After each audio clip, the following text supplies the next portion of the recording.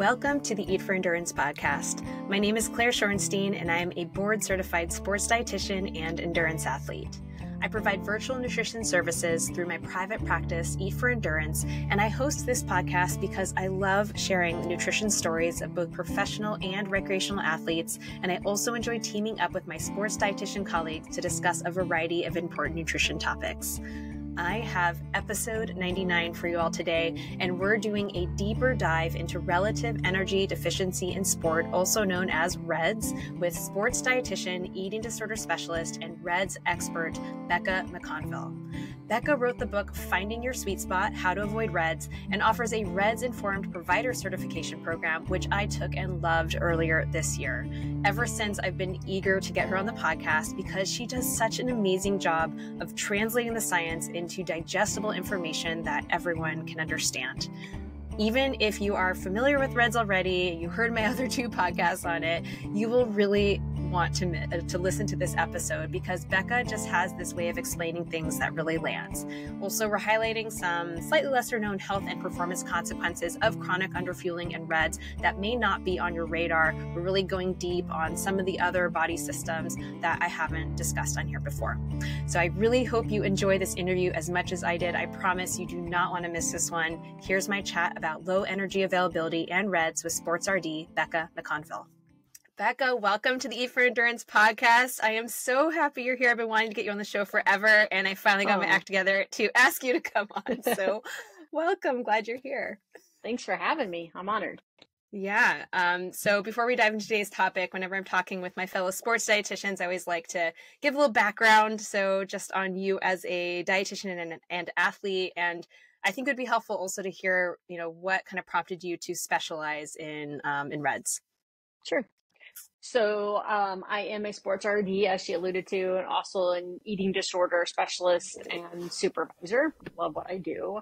Um, my background was actually as a collegiate basketball player, and I joke that I absolutely hated running at that time. And then as soon as I was done, I was like, "Oh, this isn't so bad when I can do it when I'm instead of being told what to do." So, um, and through that journey, like a lot of us athletes, um, I was really kind of striving for what would be that competitive edge. So, you know, if I could get faster, maybe I put in a little bit extra conditioning. Um, if I felt like my body was sore and wasn't recovering, what if I started watching my nutrition in the beginning? It paid off. I could feel the difference. Coach noticed it. But if a little bit's good, maybe more is better. And then kind of took it a little too far where I started noticing those clusters of symptoms, like separate puzzle pieces that were never put together that then I was really tired. I started missing my cycles. I had a bone injury, um, actually a rib fracture that wasn't healing um, properly. I mean, just lots of different things that nobody kind of put together and explored the reason why. But of course, at that point, I mean, female athlete triad wasn't even something that anybody recognized. So fast forward into my career and I always was very interested in performance nutrition, but it was hard to find jobs in this area and started getting some consultant roles. And then eventually was approached about order, um, working at an eating disorder clinic, which was kind of funny because I was like, I am never working with eating disorders. And now that's, I can't imagine my life without doing that work. And when they approached me about joining this practice, they said, you know, we could see you being a dietitian that, a sports dietitian that specializes in working with eating disorders. And I was like, well, but I got to pay my bills but truth be told, I didn't realize like how rampant, unfortunately, that is through sport. Yeah. Um, and so from there, really dove into specializing in that. That's where, through my own curiosity, what does underfueling do to the female athlete? And then that evolved into what is now known as REDS. And I just felt like, from my own learning style, I like to make things in a lot of analogies. I like to make things relatable. And so that's how I taught myself about REDS. And then I would start teaching that to my clients, and I could see the light bulb go off where they were starting to understand what that was. And that's then what led me to write my book about over five years ago. Yeah. I mean, and that's exactly, I mean, I've covered this topic twice now in the podcast, but you have such a different perspective and a way of teaching. And we're going to go into I think a little deeper into certain parts of reds that I haven't covered before. Um, but also just, I just want you to share some of those analogies with my listeners because, you know, I took your course. I absolutely adored your course as a provider and, um, and just hearing you speak about, you know, like translating the science and the various guidelines into really digestible information that I think everyone can understand, not just, you know, me as a dietitian, but anybody, anybody you're talking to. So, um, so yeah, today's topic, let's get into it. Low energy availability and of course REDS or relative energy deficiency in sport, or we can say inactive people because as you know, you've talked about many mm-hmm. times, as I've talked about many times, it is not just quote unquote athletes. Um, right. There are plenty of people who are just active in whatever way, shape, or form, um, who intentionally or unintentionally are uh, underfueling, right? So, um, so yeah, one of the one of the analogies that you use frequently to talk about energy availability is with money in a bank, and I think it's I think it's so helpful to understanding energy needs and also why energy balance should not be the goal as you've talked about mm-hmm. right? It shouldn't be a goal for anyone and especially not active people. So could you walk my audience through that analogy would love to. Yeah, I always try to think of something that's neutral that we don't have a lot of kind of emotional tie to that people be like, oh, okay, when you put it in that way, then I can understand and relate. So when we think about reds and low energy availability, I always talk about everything that we do is a withdrawal from our money account. Sitting here visiting requires energy, doing our activities, using our brain. And so we have to match the deposits to those withdrawals to keep an energy balance. But the problem is we can't predict when there might be a training adaptation that's happening. Well, we kind of, right? If we're if we're following a training block, we know what we're desired from there. We don't know when our body might be fighting off uh, some sort of virus, or right now fall's coming in, and so there's allergies out the yin yang that people are probably requiring a little bit more energy, and so you don't want to keep that bank balance like most of us at zero. We want to have some energy available just in case and that helps with your brain and your body having a trust process where if we're always kind of dipping into the negative, you'll start to see this feedback, like negative pattern that happens where things start to down regulate. And I think that's probably what we're going to talk about a lot today. Yeah. Yeah. Um, and just, you know, to make it really clear, like the energy balance is that whole like calories in, calories out. Like, oh, if you have to, if you're trying to maintain your weight, like that's what you got to do. And it's like, yeah, that's not a good. no. um, um, okay. And in terms of like, I think it might be helpful just to use that same analogy. Um, I know it's something you talked about in, in your course, but like clawing your way back to health using that analogy, it's, not so simple, right? Can you kind of just briefly touch on that? Yep. So I kind of call it the runway, right? So depending on how chronic that energy um, deficit has been. So I kind of we call it deficiency, but again, using money, I like to think about as the deficit, and then how severe it is. So I think that's um, a myth that is starting to get debunked. Is that it doesn't need to be a, a, a huge amount of gap between what's coming in and what's going out. 250 to 400 calorie difference between what you should be taking and what's going out over five consecutive days will start dysfunction. And the hypothesis behind that is that's usually the amount of glycogen that's stored in our liver, and the liver is the primary fuel source for our brain. So when the brain starts to be like, oh, alert, we're starting to be running low on energy, where can we down regulate? So as that runway gets longer, we've got more room that we have to make up that deficit and then the the starker the deficit that obviously means that's even more. And so i kind of view that as like interest on a loan. When we take out money for a loan we have to pay off the interest then we get into the actual loan. And so so many people are like well if i just get up to my energy needs then i'll get into balance.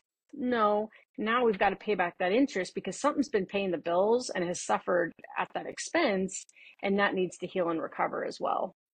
Yeah yeah, exactly. And you kind of alluded to um, when you mentioned that five days, the whole like acute versus chronic reds. You mm-hmm. know, people don't necessarily distinguish between the two. Um, so that is an important, you know, distinction to make. Um, can you define? So that that's the five days, and we can see kind of some dysfunction there. Chronic, how would you kind of define that? Anything beyond there, or how are you defining chronic reds typically? That's a good question. I don't think that's one that has necessarily been defined. So it could be somebody that kind of has a small deficit, but it's stacked weeks and months at a time. It can also be somebody that goes through a calendar year and when training starts to increase, they don't match their nutrition to it. So they kind of always have this like roller coaster that's going on. So then they're calling their way out of it, but they they kind of never completely get into an energy available state, and so they're always kind of staying in a subtle dysfunction. But those add up over time. That's the person that maybe never had issues with injuries, and then all of a sudden, like, where did these injuries come from? And now I've got this bone stress injury, or now I've got this nickel going on. They probably have been in this slight roller coaster of chronic low energy availability for quite a while. Yeah, yeah. Um, and that's also kind of, I think it's worth mentioning, you know, when we talk about energy availability, we are also thinking about like within day versus end of day, right? So, mm-hmm. um, you know, those are both important terms and important things to think about. Can you kind of touch on that a little bit as well?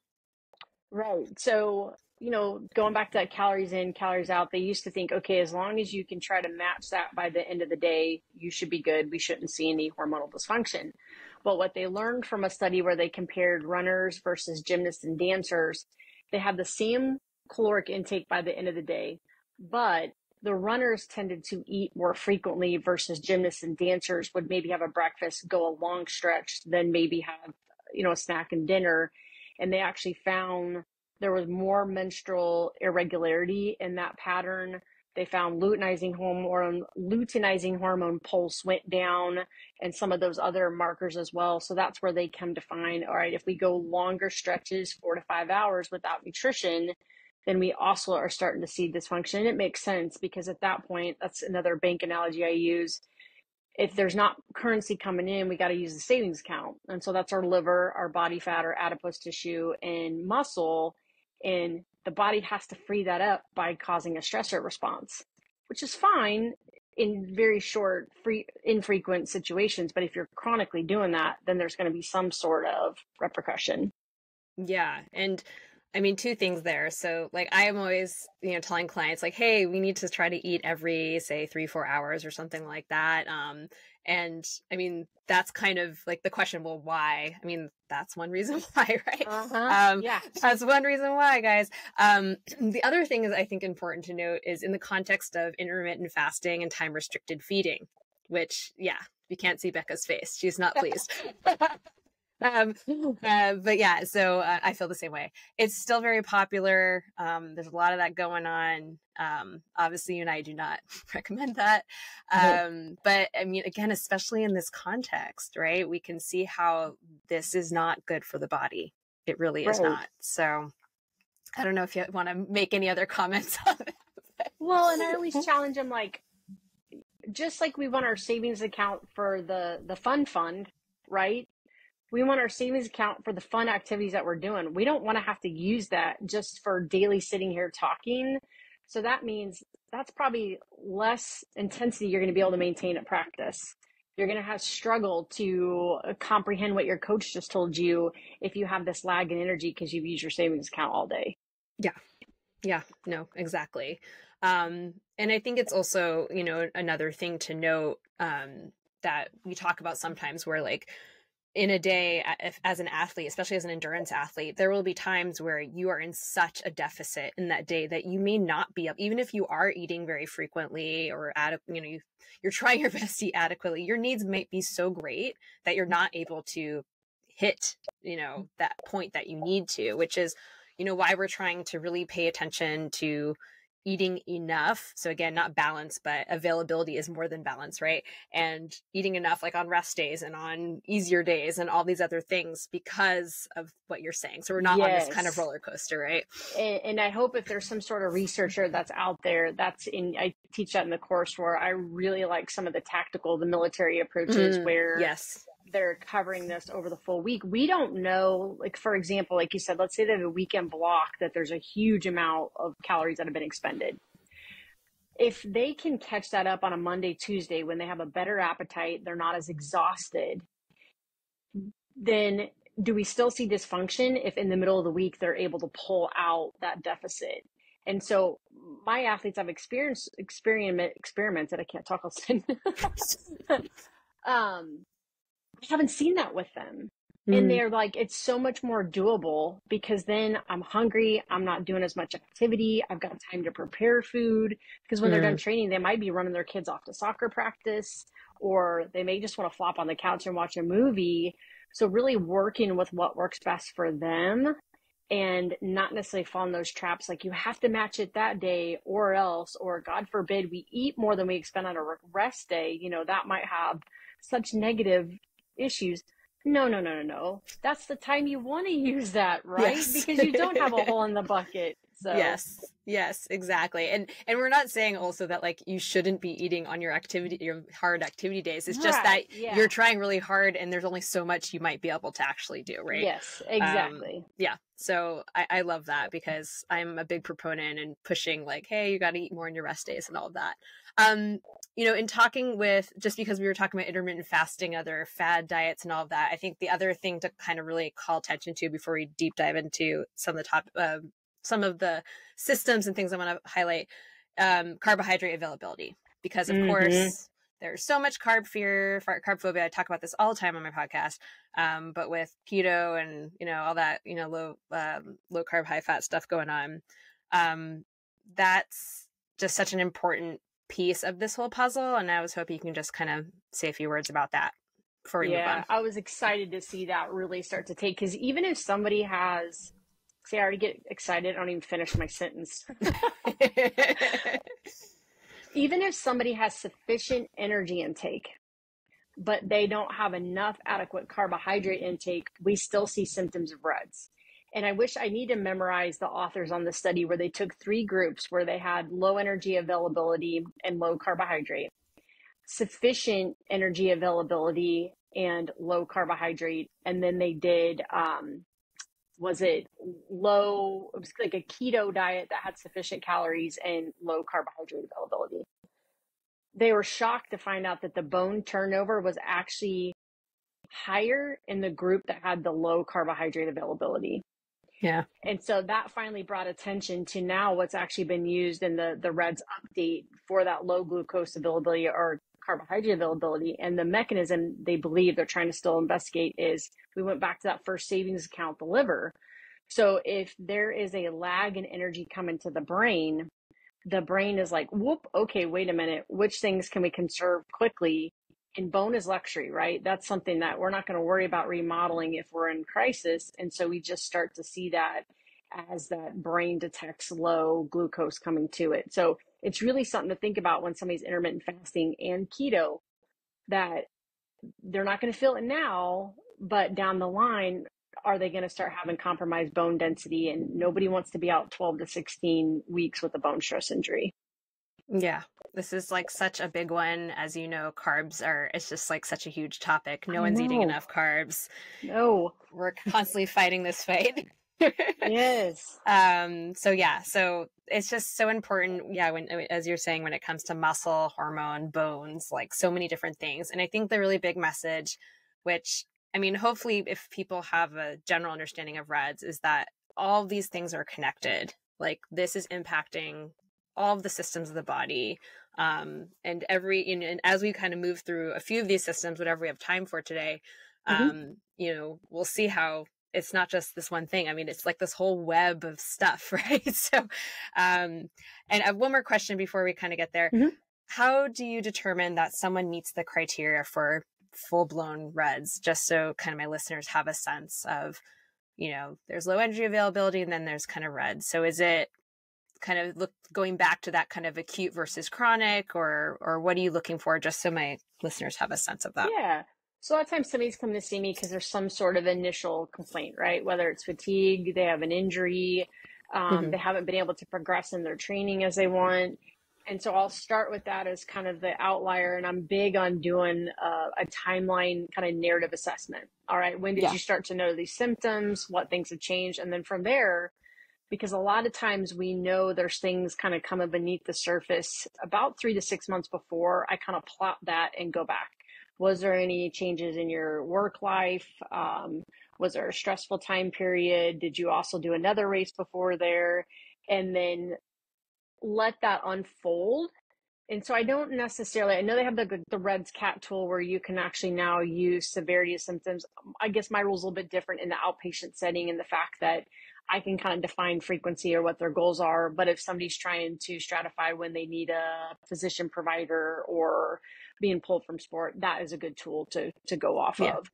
But yeah. from there, if I can see that the mismatch of energy contributed to the symptoms, then I kind of use that as my definition to, to as a dietitian for, for REDS.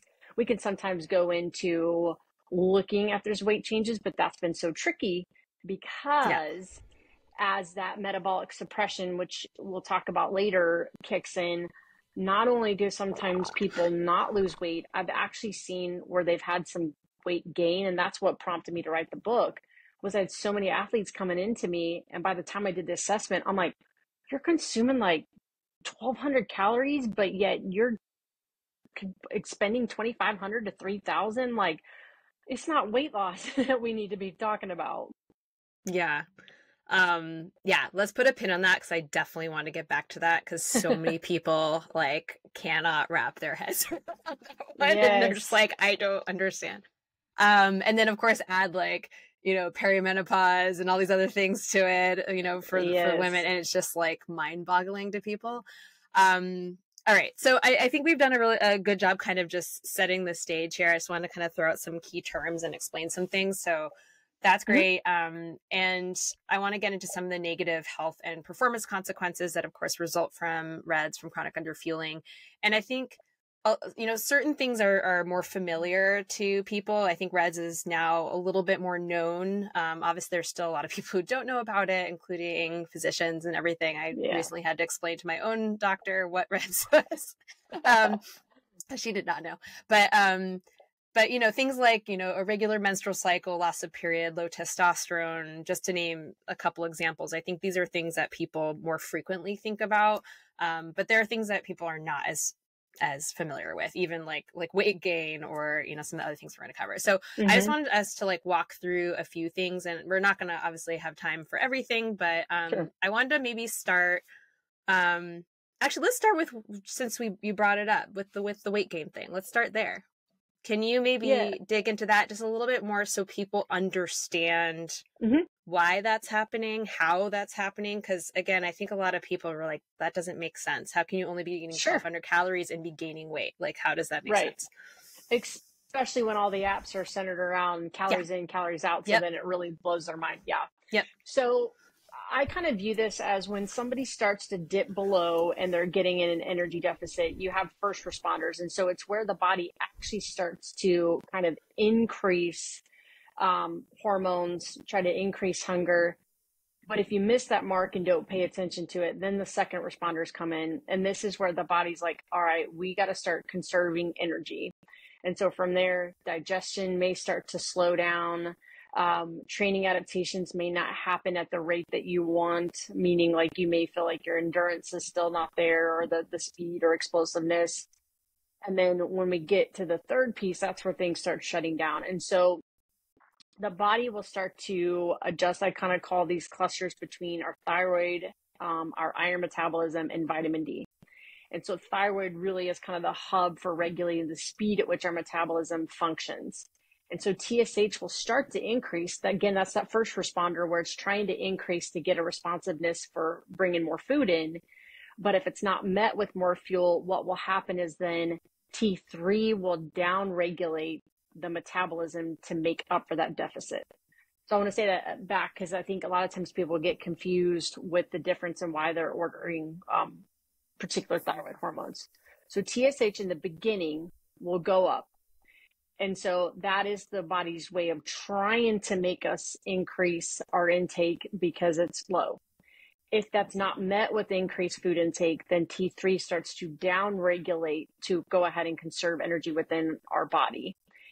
So if you go into a provider and maybe they don't know about REDS and they see an elevated TSH, they might prescribe thyroid medication. Yeah. Now, unfortunately, you've sped up a body that's already struggling to keep up with its energy bills, and it's actually made things worse. So it's really tricky. Mm-hmm. We saw mm-hmm. this a lot. That kind of got brought to light Um, unfortunately, in the Alberto Salazar case with yes. some of those those runners. Yes. Mm-hmm. And so when T3 starts to downregulate, that's where we see fatigue. We may see changes in people's um, skin and hair. Um, they may even have some coldness to their fingers and toes. Um, and then they'll have these erratic weight patterns that don't make sense to them where either they've uh, stalled in, in weight loss or they've actually gained weight and that's what I, has become to term metabolic suppression where the metabolism is slowed down to conserve energy yeah yeah and and that's a good segue into thyroid generally because that was that was on my, my list because you know it's so important to distinguish between actual thyroid disease um, mm-hmm. um, and thyroid suppression that is the result of reds um, because the symptoms are similar but the actual cause is not right? Right. but unfortunately yeah. as you pointed out you go to a doctor especially one who's not familiar with and you know this stuff and it's all treated the same with medication. Um, so um, so yeah and where where do i want to go with this? I guess maybe I want to jump back to the the weight thing for a second before we mm-hmm. continue with thyroid. Um so I mean the way forward which is I think so hard for people is to eat more. And like I'm gaining and, weight and you're asking me to eat more. Exactly, yeah, it really yeah. confuses them. so it's again, this is where like you know, we're trying to teach them something that is it sounds so counterintuitive but you know you explaining the mechanisms is very helpful. Um and and then yeah so how do you know how do we treat this? Well it is by fueling more and that's the hardest thing. So for anyone listening who might be kind of struggling with something along these lines what do you want to say to them? Again i love my analogy so that's where i always talk about kind of like that that fire that's getting ready to go out and if you, you know, we put these little kindlings on it, we're going to keep a fire, but it's going to be really low.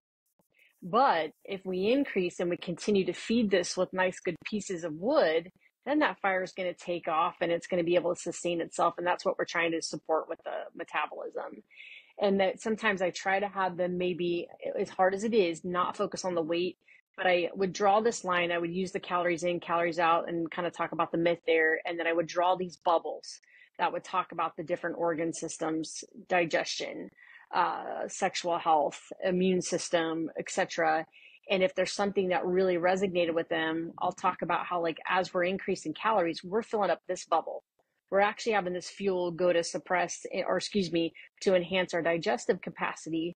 So then you can break down and absorb more nutrients. And so as they start to feel better from that, that kind of hopefully distracts them for a while from the weight, but then they're kind of surprised when like, oh wait, I'm actually not gaining weight, or they might in the beginning, but then their their metabolism starts to take off. I have so many athletes uh, and, and active individuals that will I always prep them like when you have your hot flashes at night, I'm gonna celebrate. And that means because now their thyroid is trying to actually pick up and get to a normal rate of function. So that means it's also trying to increase the body temperature, core temperature as well. Yeah, yeah, absolutely. Um, let's jump back to thyroid for a minute. I'm gonna spend a little more time here. Mm-hmm. Um, mm-hmm. yeah, this is one, and and I think you know it, it's definitely important to kind of get these labs checked and kind of see what's going on. Um, when people see some irregularities there, whether it's in lab work or um, they're experiencing some of these symptoms, they're going to the, their healthcare provider um, what advice do you have to give to them if they're in this situation where you know they, whether it's oh your tsh is high or some of these other things are off and and medications are being offered um, what is the what is the better step forward in this kind of situation? Yeah. Oh man this is so tough because not only traditional medicine has really such a uh, weight fat phobic approach so does actually performance nutrition and yeah. so I usually challenge, especially you knew this from the class, like find some research that actually has like a weight neutral health focus. And it's really hard to find. And so, you know, everything's geared towards the O word that we hate, obesity, right? And we don't focus on the malnourishment. And to me, REDS is malnutrition. It's malnutrition on a spectrum. So when we look at that, we've had literature on how to treat that for years and years and years. So we need to kind of bridge that gap between the clinicians that have worked in that area and the clinicians that work in REDS. So another common misstep that we see, and this kind of came up on something our listserv, is cholesterol. Mm. Right. So somebody will go in, they'll get a basic panel, and they'll be told, oh no, my cholesterol's off. I need to, my doctor told me that I need to increase my fiber, watch my calories, more fruits and vegetables, and more activity and cut the sugar. And we're like, what? Like, you're training for a marathon, you're expending all this energy. Like, I don't think that that's going to solve the answer. So, when we go to the mechanism behind the malnourishment or low energy availability, that also bridges that thyroid gap. So, as T3 starts to lower, that is actually controlled. Um, again, you also think about thyroid controls where our energy is coming from. So if T3 starts to downregulate, it actually goes, all right, activate using the savings accounts. So there's a particular esterase called CTEP, which controls the conversion of cholesterol and triglycerides into lipoprotein. So before that sounds too complicated, that means your LDL cholesterol. Mm-hmm. So if this downregulates, that actually means that esterase upregulates and frees more cholesterol to be used for energy. So LDL might be elevated, but that's because that's your survival mechanism to provide energy because we've had to increase free fatty acids for energy source. Well, what do they get told? Cut your fat, increase your fiber. And so it actually ends up making that mechanism worse. So that's another example of when there's a misunderstanding of how malnutrition can impact somebody's body. We have to look at the root cause of what's causing that. And obviously, there could be genetic pieces of it. But if there's lots of other symptoms that are happening, more than likely that cholesterol is secondary to malnourishment. Yeah. Or, you know, like we were talking about offline, um, which finally prompted me to reach out and schedule this interview, was about fatty liver. Um, mm-hmm. And, you know, an athlete having fatty liver, which again, it might not be linked necessarily. However, it could be. Um, right. Do you want to explain that one as well, since we're on the topic? Yeah. Yeah. So, again, if you have free fatty acids that are needing to be circulated for energy, that also means that they can be more circulated and, and used within the liver. We also have particular enzymes because of the malnourishment that end up uh, things like amylase that are increased in elevation, and so that actually can become necrotic or or um, irritated within the liver. And so I think they've moved away. It's not called NASH anymore. It's something else. We always have to. yeah, we always have to change the terminology, and then I can't keep it straight. yeah, yeah, yeah, yeah. But most people would not even remotely think, oh, my lack of nutrition could be causing my cholesterol or my fatty liver issues. And like we spoke to a couple times now, they end up actually getting recommendations that pull them in the worst direction they could go. Well, so just as an example, like I had a, a client who, um, and again, we're still kind of looking into this whole thing, but the the recommendation was very low fat diet. This is an, an ultra endurance cyclist. Okay. Very low fat diet, you know, cut sugar, potentially go on a medication that makes you malabsorb fat. Um, yeah. That'd be good on the bike. uh, he's not. He's not doing that. He's not doing that. Um, and he's and, and he's he's working with me, so it's fine. It's fine. But you know, it, it's again, it, it's it, it's important to kind of understand the whole situation there. Um, and it's tricky I mean, if you do actually have fatty liver as an athlete, which also like happens, like obviously athletes have chronic diseases. And so yeah. again, the messaging here is like, oh, you think you have like, you know, fatty liver, hypertension or high cholesterol. Think again, it's red. No, no, that's not what we're trying yeah. to say. Yeah. um, we're just saying that sometimes when something doesn't necessarily, like you don't want to automatically assume it's exactly what um you know the doc like what what we think it normally is in terms of mainstream like we have to kind of think a little bit outside the box and what actually makes sense here yeah um, you and, know and it's tricky because reds is a diagnosis of exclusion yeah. So I had a uh, very similar mill endurance athlete that his um, lipid panel was all in the red. but he really didn't want to start medication. And I said, okay, before we do that, like, why don't you go talk to your cardiologist, see if they're comfortable with the time span that we can try to improve your energy availability. Let's lower your training because he also had an injury at that time and see if it'll improve. And so we, they actually did a calcium score on him to see where it was as well, um, which is another kind of measure of risk factor. And then that cardiologist did let him, and sure enough, as his nutrition improved, um, eventually, not the three month mark, but at the six month mark, he was actually completely within normal limits. Mm-hmm. So that's nice because you had a uh, you had a team that was working together mm. and empowering that athlete to make that decision within reason. We never want to put them in harm of their health. Sure.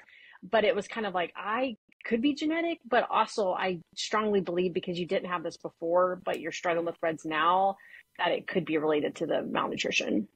Yeah. Yeah, and in this this case, I I don't actually think he has reds, so I don't think this is the issue. But let's say actually, let's say someone who has REDS, how long would it take potentially um, to develop, you know, high cholesterol um, on your lipid panel, or you know, something like fatty liver? Like, is that something? Mm-hmm. Like, how mm-hmm. long would that take to develop? Um, it depends on where their baseline numbers are to begin hmm. with. Mm. But let's assume usually, they're normal. Yeah. Okay. So usually it's about six months or so. So like Dr. G, okay. that Gaudiani, that has the book Sick Enough. I yep. know she's like, it doesn't do any benefit to order those labs more than twice a year because to get significant change, that's how much time yeah. it takes. So I kind of use yeah. that mindset and then do it mm. reverse. Yeah. Okay. Got it. Um, okay. What, let's talk about, um, cortisol. We haven't mentioned cortisol yet in this whole discussion of thyroid and weight I'm gonna I'm gonna get to the GI system in a little bit, but uh, before I move there, I want to yeah, let's do a little bit more on cortisol since that's such like a buzz hormone, popular hormone to talk about. I did an episode on cortisol. Um, yeah, what do you want to say about cortisol? Yep.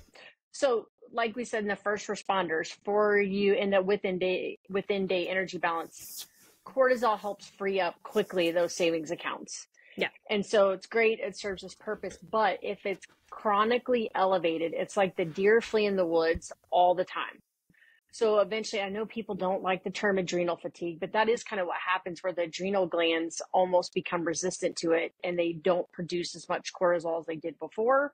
So then we have a lag in free energy and with cortisol staying elevated also comes inflammatory markers. So we start to see more of the IgG antibodies that's linked to some of the food intolerances.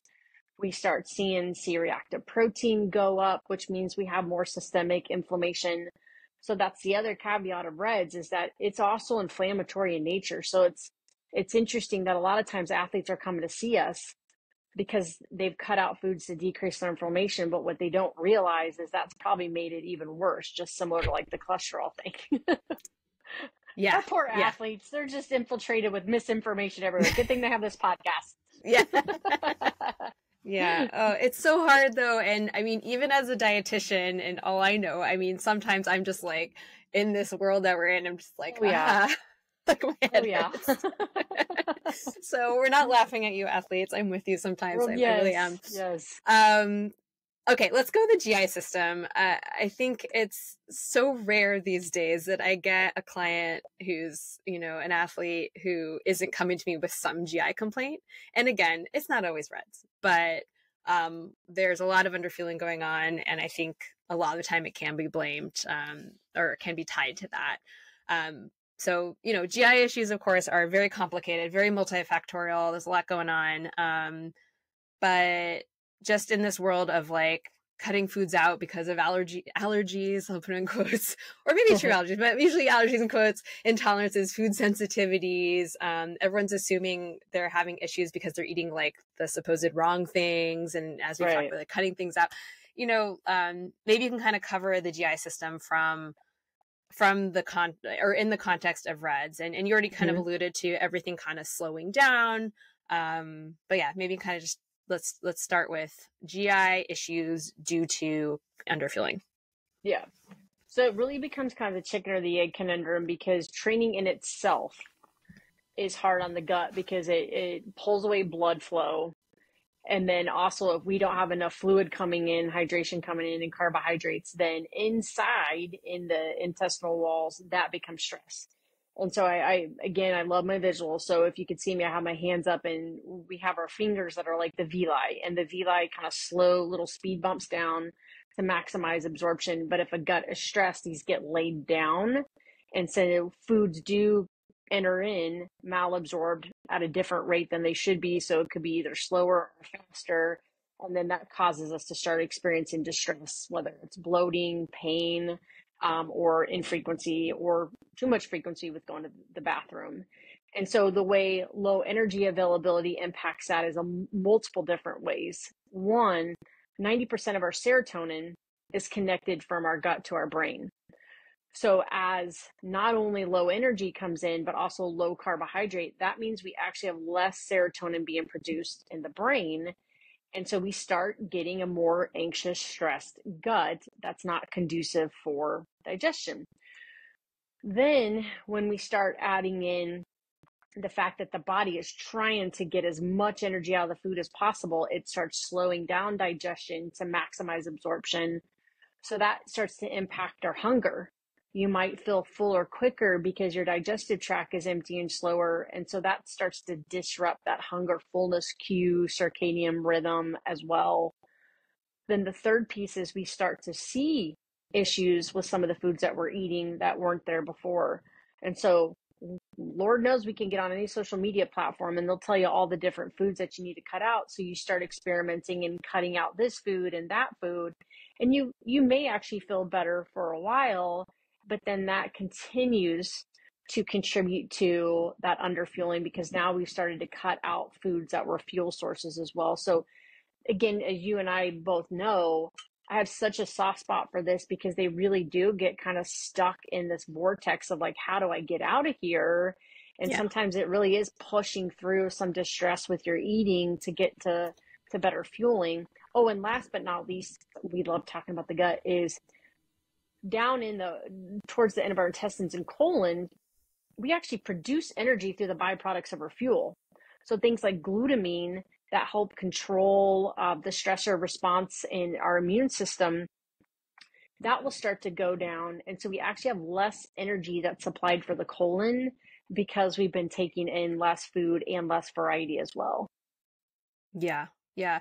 And one of the things um, I forget where I got this quote. I don't know if it was from your course or somewhere else, but you say if you burn your arm and use the same water and soap you've always used and it hurts, you're not allergic to the soap, and you basically just yes. need to like temporarily limit using that soap. And I, again, I think it's I love your analogies, and it's such a great analogy when the the gut lining is injured and you need to mm-hmm. heal. Mm-hmm. Like, yeah, maybe you need to temporarily not eat something or slowly bring it back or whatever it is but the problem isn't necessarily the food. We always blame the right. food.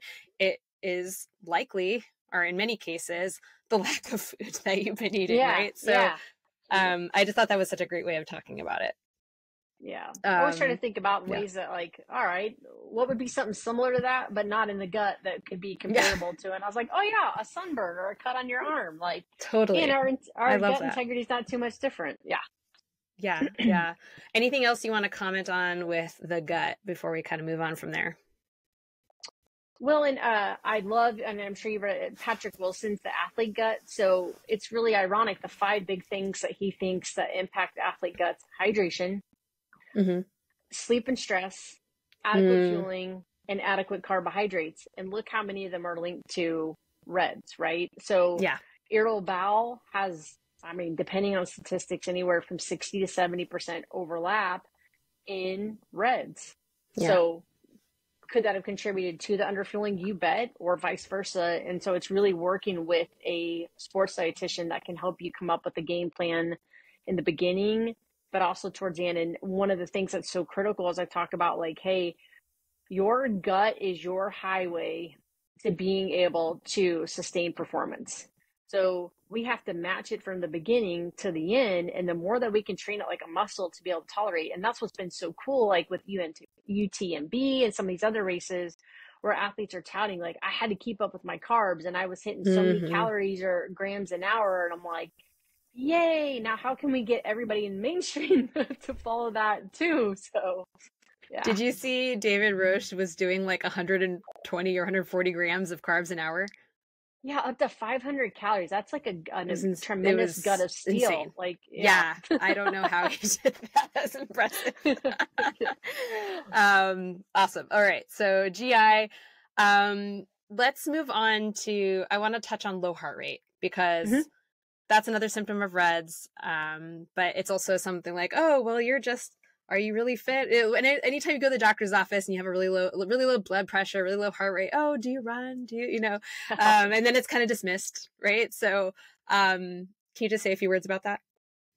Yeah. So again, I always have a comparison, and I use an image of Secretariat. So Secretariat was the greatest thoroughbred, and they, they can't see the images, but if you look, I'm a big horse person. I got horses behind yeah. me, and they decided to actually autopsy Secretariat to figure out why he was the most incredible um, racehorse of all times.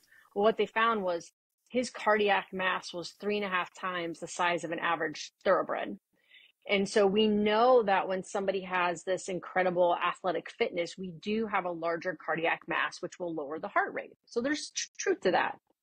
But there's also a lower heart rate that is a means of conserving energy and has actually lost cardiac mass. And so the way that they um, kind of test for that is imaging, but obviously that's not the most, that's a little bit invasive and expensive. But they'll do what's called the walking test. So if you have a nice, strong cardiac mass, you should be able to get up and walk down the hallway and it can pump lots of blood volume that turnarounds and goes to brain. You don't get dizzy, anything. But if it's a heart mass that started, again, use the savings account, which includes our cardiac mass is muscle, then that started to shrivel in size. And then it also doesn't have the nervous system or the the vascular system to pump blood. And so when you get up to walk down the hall it's like choop, choop, choop, choop. it's like a little tiny hose that's trying to keep up. And so there's a lag in blood flow and that's where people will talk about that like whoa i get really dizzy upon standing or i may feel kind of spotting in my my eyes. Um, that's a sign of like a, a malnourished heart the other we talk about all these inner organ crosstalks is estrogen and testosterone are both really powerful powerful vasodilators in our blood vessel. So when they're low we actually don't get as much dilation in our blood vessels to turn around and pump blood. So there Christiane Schulfelt did some really cool work looking at amenorrhea and heart disease in female athletes and so we're starting, they don't have enough data yet, but they're starting to look at if some of these women that develop heart disease so quickly postmenopausal, if it was actually there to begin with when they had amenorrhea. Mm. Yeah. Oh, that was super, well, that was super helpful. Thank you for explaining yeah. that. Um, all right, let's talk about the brain now because I think a lot of people talk about how happy they're going to be when they get to their goal weight or they lose five pounds and this. And I mean, obviously, you know that losing weight doesn't in itself doesn't bring happiness.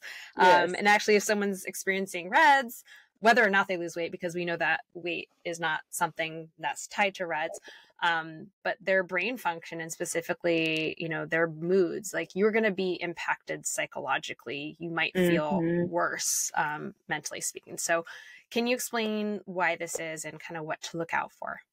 Yeah. So, we have to have fuel to feel.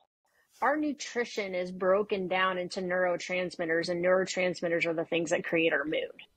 And so, as somebody starts to become refueled, they may notice that they seem more disinterested and they seem more flat, or they may even be more agitated. I was joking with somebody this morning. Oh, um, can't remember. So we were talking about something with like fasting, and I was like, "Oh yeah, I don't do that because I can tell I get irritable really quick if I go too long without eating, and you just don't want that." So you've got that mechanism. The other piece is that, you know, our brain is what controls circadian rhythm. So that's when we should feel a spike in energy. That's when we should feel a drop. We should get ready for bed. So if it starts lacking some of those neurotransmitters that help us get into what's called the GABA cycle, then we start to find like, I'm physically exhausted, but I can't get to sleep or I can't stay asleep or I'm finding that all of a sudden I may have a spike of energy and I feel like I'm bouncing off the walls, but then all of a sudden I can't get off the couch. The nervous system is starting to feel the impacts of the underfueling and is trying to again kind of give that hyper responsiveness but if there's no reaction then that down regulation and that's where overtraining syndrome is kind of a word that uh, has been dismissed but Jack Raglin called it staleness in sport and i really appreciate that because that's what we see right is all of a sudden that athlete's like oh i've got I, I have to go do my training or they mm. feel like their legs are heavy as all get out, but they're pushing their way through. And that's the brain that's trying to speak to the under recovery and under fueling. Yeah. Yeah. Thanks for, thanks for pointing that out. Um, yeah. so, I mean, I, there's so much more we can talk about, obviously, like I'm not, co- we're not calling out all the different body systems. Um, I want to spend, you know, a little time on kind of what this timeline for recovery looks like for Reds. Um, before we go there, I mean, is there anything that you really think is we need to call out in terms of the different systems that is worth mentioning? I mean, I know we can't cover everything. yeah, I know. I mean, it's too much. you and I could, you and I could talk about this all day, but I've got I know, right? be in the parking lot waiting on me. yeah. Um. So, I think one of the things um kind of we kind of alluded to it with the inflammation in gut, but mm. there and again, I'm not I'm not trying to diagnose anybody. I'm sure not yeah. trying to dismiss what people experience, but like the chronic fatigue and some of these mysterious um, viruses and illnesses, we need to make sure that again. Just like red blood cell production that requires ener- energy, so does our white blood cells and our immune system. So sometimes an inability or always getting sick right before a race could be related to reds and the body's um, lack of ability to be able to keep up with the immune system. Because if, if you're chronically having inflammation, it's having to prioritize its energy towards that. And it can't, kind of like thyroid, it can't keep up with the day to day. And that's where we see more immune related conditions and issues.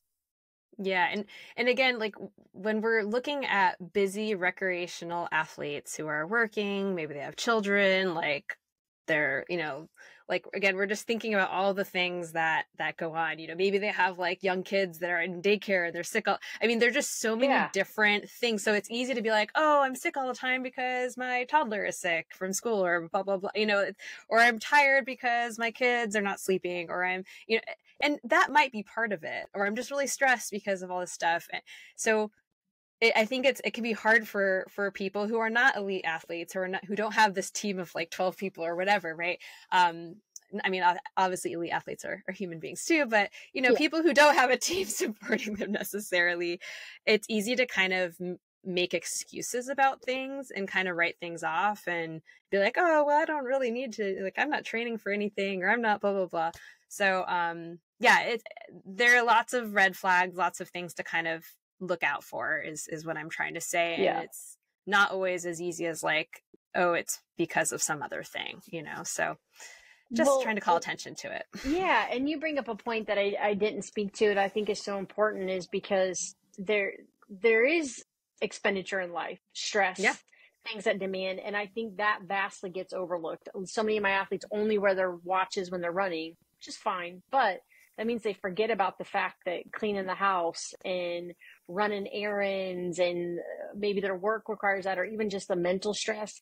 All of that stuff adds up. So when I assess, I make sure I ask for a 24 hour physical activity recall just as well as their nutrition and people usually forget like oh well i bike to work but that doesn't count it's like so easy it's only mm. it's only 10 minutes or oh yeah i walk my dog but you know it's like whatever you know it's only a mile just or, a mile you know, yep. yeah it's just a mile or two or oh yeah you know so like or gardening or yeah there are lots of movement things that that people don't take into account or maybe they have a really you know they're on their feet for their job um, or whatever. So yeah lots of ways that we are expending energy all the time that we have to exactly. All right so i know you got to go soon so let's spend the remaining time on mm-hmm. timeline mm-hmm. for recovery from reds. Um, i know this varies greatly depending on the individual and how much of a de- deficit they've they're in how long it's been going on um, et cetera. And of course that's even assuming that the person is willing to make changes. Um, you know we haven't really made that distinction between eating disorder versus non-eating disorder with reds um, so not that someone with an eating disorder isn't willing to make changes but it presumably is much harder right um, sure but maybe you can give a sense of what recovery looks like, the timeline for this process, um, kind of if someone has kind of identified that they are likely, you know, suffering from RED-S, um, what's what are next steps? Mm-hmm. So it goes back to that runway we talked about in the beginning. Yeah. So depending on like how quickly we need to take off, maybe there's there's some sort of big race that they're trying to to get to, or maybe they do have a bone stress injury and we're like, time is of the essence because we really got to remodel this bone and get it healed. And so we can't spend time in an energy deficit. So it all depends on medical necessity, if there's any performance specifics that we need to to try to focus for and then what does feel doable. Like you said if it is a mom or dad that's trying to juggle training their kids career i'm going to be practical and in what's going to be doable from like meal preparation standpoint uh, the anxiety piece that comes with it trying to to navigate figuring that out. And so we come up with a game plan. And a lot of times too i let them start out like all right what sounds doable to you for now and then as we get momentum going now let's see like can we start with a little even more energy being added on? Or do you want to consider cutting back on training? I never approach that in the beginning because usually the media like no i'm not going to cut my training. But if they realize it gets them that much quicker to being in a, a, better state then they then they start to to compromise with you. The other piece goes back to as we alluded to some of those physical barriers if digestive uh, or, or if we're having a lot of GI issues, that can slow things down because it, it is uncomfortable. We're trying to get the digestive tract up and going. And so I focus on that first, and then we start working on trying to really increase energy and calories. So lots of dynamics to consider. And I think whether separate of an eating disorder diagnosis or, or disordered eating, I just want all of our athletes to know, and you have that any kind of change brings about fear right? There's so many messages we receive in any given moment that causes us to be confusion, causes us to be confused. And so I just want them to understand if you're fearful of seeing a dietitian because you're worried about starting this process, you are 1000% not alone. And we are going to reassure you of that and meet you where you're at. And then we'll get to going on the, the runway together. Yeah, no, absolutely and you know and i think there there are a lot of unknowns and and there's a lot of you know when you're going on this um journey of re- kind of recovering from stuff i mean first you're trying to do all the detective work of like or we are but you know we're in it together of like what's even going on you know and then especially when you put the gi stuff in there i think that's always so tough because you're trying, you know, because it's obviously really uncomfortable and it's really hard for them to physically get food in if they're dealing with all these issues. Right. Right. Do you do you have any tips or anything like that you want to kind of dive a little deeper in in terms of like that specific starting point of trying to increase energy availability when they're actively having all these GI issues?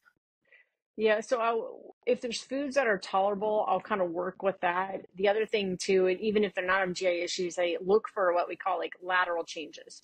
So if there's something they're already consuming that they might be able to switch out that has a little bit more caloric density, that's great because that means that we're not necessarily having to add volume mm. and they're already eating at that time. Then we go back from there and we look at can we change the frequency? If they're going long stretches, then can we add an afternoon snack in or a bedtime snack? And then the foods that are um, not as hard on the digestive tract. So that carbohydrates get demonized, but that is the nice thing about those that it's a little bit more simple for them to break down than something that's full of fiber or really high protein as well. And so, um, kind of looking at that recall, building upon what they already have, and then seeing if there's something that we can switch out. Yeah, and in terms of kind of time frame, I think it's important for people to know, like, like this is not something that happens overnight. It takes a, it can take a really long time to kind of climb out of that. Can you give people a sense of like how long and, and like realistically you can mm-hmm. it would take mm-hmm. to kind of recover fully from from RED-S?